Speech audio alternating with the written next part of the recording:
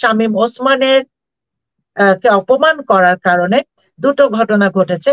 একটা হচ্ছে নারায়ণগঞ্জ কলেজের যে ছাত্র দলের ছেলে রাজীব, তাকেও নির্মম ভাবে প্রহার করেছে শামীম ওসমানের পেটোয়া বাহিনী এবং আরেকজন সাবেক ছাত্রদল ভাই যিনি আর কি জ্যাকসন হাইটস এ ছিলেন ওই সময়, তার বাড়িঘর ভাঙচুর করেছে।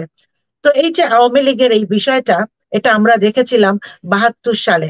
তাদের রক্ষী বাহিনী ঠিক এই কাজগুলাই করেছে। আপনার মনে আছে কিনা জানি না। শ্রীমতী অরুণ অরুণা সেন হ্যাঁ ওনার ওনার একটা প্রেস ব্রিফিং ছিল। ওই সময় ওনাকে ধরে নিয়ে গিয়েছিলেন, কারণ তারা লেফটিস্ট ছিলেন। এবং তখন তাকে জামিন দিয়েছিলেন হচ্ছে সাবেক আমাদের মরহুম আইনজীবী ব্যারিস্টার মহদুদ আহমেদ এবং ব্যারিস্টার জমির উদ্দিন সরকার। তো জেলখানা থেকে বের হয়ে ওনারা একটা প্রেস ব্রিফিং করেন।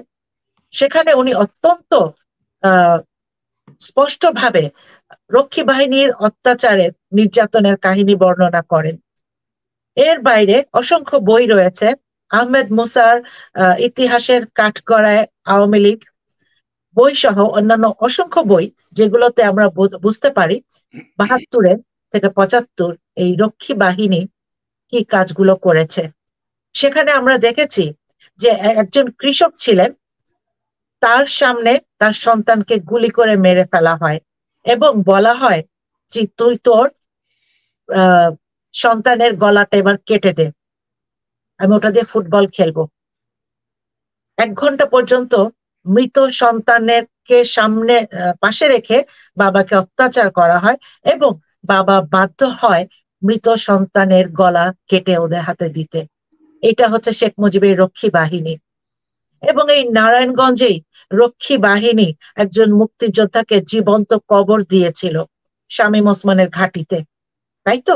তো এখন বিরোধী দলের কর্মীদের, সমর্থকদের, নেতাদের কেস তারা করতে পারছেন না, গ্রেফতার তারা করতে পারছেন না, সে কারণে তারা কবজি কাটছে। এটা হচ্ছে তারা দেখাই দিচ্ছে যে পরবর্তীতে আর কি কি ধরনের ট্রিটমেন্ট তারা দিবেন বিরোধী দলকে। তো এটা তো নির্বাচনের পরিবেশ না।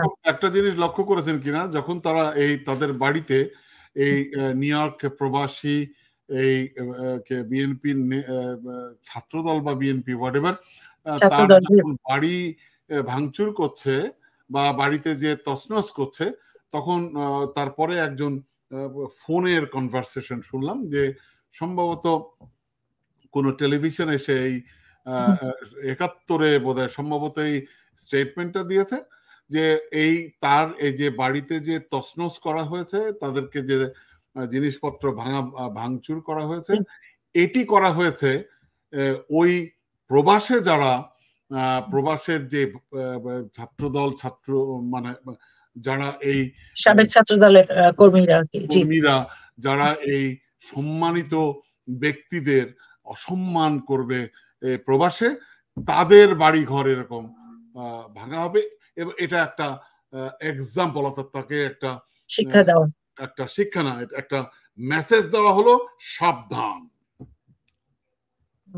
এই স্বামী ওসমান পরপর দুবার কিন্তু বোরখা পরে পালিয়ে গিয়েছিলেন তাই না?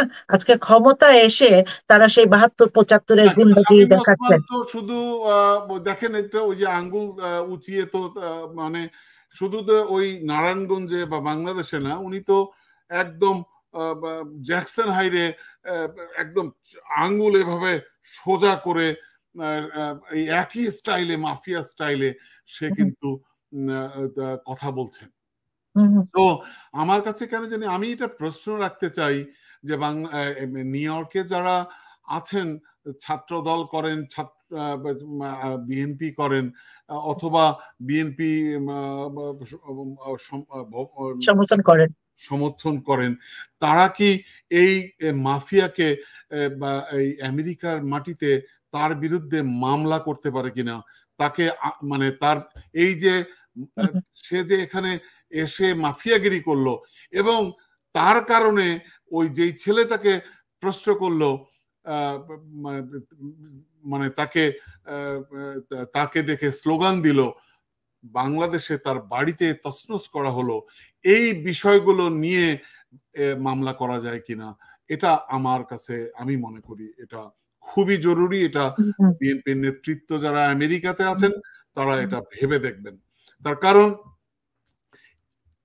তার কারণ হচ্ছে একটা জিনিস আপনি তাসিমা আপনাকে বলি আমি এখানে মাঝে মাঝে আমরা, আমি আমন্ত্রণ পাই প্রধানমন্ত্রীর বিভিন্ন ইভেন্টে আমাদেরকে দাওয়াত করে, আমরা আমরা আমাকে দাওয়াত করে, আমাদের অর্গানাইজেশনকে দাওয়াত করে, নাগরিক টিভিকে দাওয়াত করে। একবার একবার আমি দেখলাম যে এক বিরোধী আমি, এই কি বলে টুডো টুডো টুডোর বিরোধী এই কুবেক শহরে, সে একদম একটা একটা টুলের উপরে দাঁড়িয়ে, যেখানে যেখানে টুডু আসতেছে ঠিক ওই জায়গাতে দাঁড়িয়ে টুডুকে অকথ্য ভাষায় গালাগালি করছে চিৎকার করে গালি দিচ্ছে। টুডু আসলো দেখল পাশ দিয়ে চলে গেল। এটাই গণতন্ত্রের এটাই গণতন্ত্রের সৌন্দর্য। এটাই হচ্ছে গণতন্ত্র। আজকে ওকে মানে শামীম ওসমানকে যখন দেখে স্লোগান দিচ্ছে শামীম ওসমান এসে তাদেরকে আবার আঙ্গুল উঁচু করে দেখাচ্ছে। এবং শামীম ওসমানের রাজনৈতিক দল বাংলাদেশে যে স্লোগান দিচ্ছে তার বাড়িতে আক্রমণ করছে। তো এখান থেকে কি বোঝা যায় তাসলিমা? এখান থেকে শামীম ওসমান শামীম ওসমান যেই আঙ্গুল তুলছে ওই আঙ্গুল বাংলাদেশের জনগণ ভেঙ্গে দিবে। সেই দিন খুব বেশি দূরে নয় সেই আঙ্গুলটা বাংলাদেশের জনগণ ভেঙে দিবে। বাহাত্তর পঁচাত্তরে আমরা শেখ এই শেখ মুজিবের শেখ মুজিবের নষ্টামি দেখেছি ভণ্ড শেখ মুজিবের একনায়কতন্ত্র দেখেছি ফ্যাসিজম দেখেছি এবং তার উত্তরসূরি শেখ হাসিনা যে একুশ বছর পর ক্ষমতা এসছে এবং ক্ষমতা এসছে মাফ চেয়ে এবং নির্বাচনের আগে যার কোন কর্মী যার নেতা নেত্রীর কেউ এই মুজিব কোট পড়ার সাহস দেখায় নাই। জনগণের সামনে লুকিয়ে আসছে তজবি আর এই হিজাব বেঁধে, তারা এখন আঙ্গুল দেখাচ্ছে। কতদিন? বাহাত্তর, পঁচাত্তরের পুনরাবৃত্তি আমরা যারা দেখি নেই তখন, আমাদের যাদের পরের জন্ম, আমরা এখন দেখছি। এবং এবার শেখ হাসিনা গেলে কোনোদিন তো বাংলাদেশ থেকে বাংলাদেশ আর আসবে না। বাংলাদেশের কোনো দিন তার অবস্থান থাকবে না। কোনদিন এই শেখ হাসিনা শহীদ প্রেসিডেন্ট জিয়াউর রহমানের দয়াতে আজকে রাজনীতি করার সুযোগ পাচ্ছে। যে শামীম ওসমানের বিরুদ্ধে ওখানে স্লোগান হয়েছে যে স্লোগান দিয়েছে তার বাড়িতে আক্রমণ হয়েছে।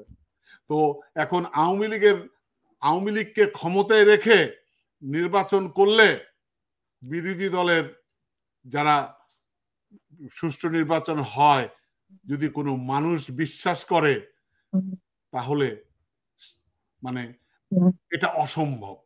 অবশ্যই। ঠিক আছে? তো আমি পরবর্তী বিষয়ে যেতে চাই। ও এখানে আরেকটি জিনিস আমি একটি টাইমলাইন পড়ে শোনাতে চাই। ডক্টর আসিফ নজরুল আমরা দর্শক আপনারা যারা দেখেননি দেখবেন। আমি এখানে এভাবে বলি দলীয় সরকারের সুবিধাভোগীদের নিয়ে গঠিত নির্বাচন কমিশন রাজনৈতিকভাবে অনুগত্য শাসন আইন শৃঙ্খলা রক্ষাকারী বাহিনী এবং নির্বাহী বিভাগের সঙ্গে সমন্বয় করে চলা বিচার বিভাগ সবই বহাল। এগুলো অপরিবৃত্ত থাকলে ভোটাধিকার ফেরানোর কথা বলা হলেও নির্ভয়ে ও স্বাধীনভাবে ভোট দেওয়ার আশা পূরণের কোনো কারণ নেই।